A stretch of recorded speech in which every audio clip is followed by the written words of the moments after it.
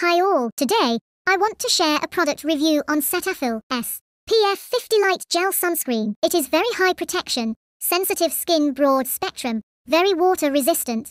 Vitamin E. I heard about this brand so many times from friends, colleagues, and also saw advertisements on social media and TV. I decided to give a try, since this brand is a dermatologist recommended for sensitive skin. So I bought this sunscreen from Health and Glow store. I paid 1182 rupees. There is no discount, no offer, no complimentary.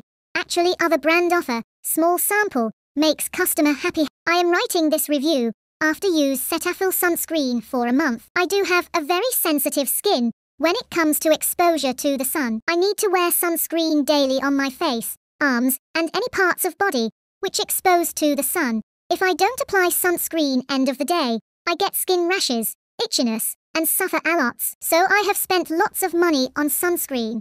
And I have tried many brands. This brand's sunscreen price-wise, reasonable, and also protecting my skin from UV radiation.